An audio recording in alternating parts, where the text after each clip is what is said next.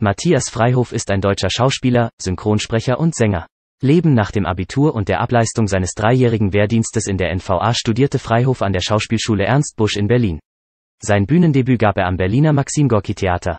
1986 stand er erstmals für den TV-Zweiteiler Ernst Thälmann vor der Kamera. 1987 spielte er in der Filmbiografie Käthe Kollwitz Bilder eines Lebens Peter Kollwitz, den zweiten Sohn der Bildhauerin, Malerin und Grafikerin Käthe Kollwitz. Mit der Hauptrolle als Lehrer Philipp Klarmann in Coming Out, dem ersten DDR-Film mit homosexuellem Inhalt, gelang ihm im Jahr 1989 der Durchbruch.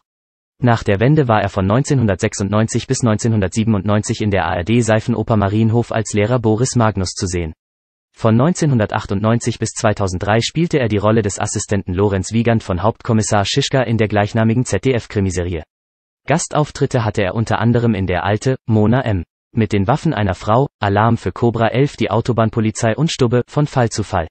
In dem Kinofilm Operation Walküre, das Stauffenberg-Attentat von 2008, der das Attentat auf Adolf Hitler vom 20. Juli 1944 rekonstruiert und in dem Tom Cruise den Part des Stauffenberg übernahm, verkörperte Freihof den Reichsführer SS, Heinrich Himmler. 2021 spielte er in der fünfteiligen ARD-Serie All You Need die Rolle des Volker. Matthias Freihof betätigt sich neben seinen Arbeiten auf der Bühne und vor der Kamera als Synchronsprecher.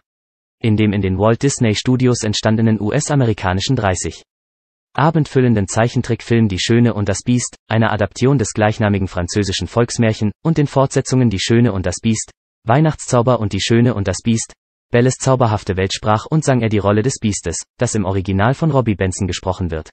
Freihof ist neben seiner Schauspiel- und Sprechtätigkeit als Sänger aktiv.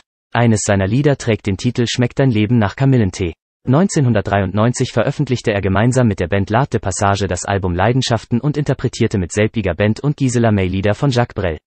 Zeitweilig lehrte er als Dozent an der Schauspielschule Ernst Busch und der Berliner Schule für Schauspiel.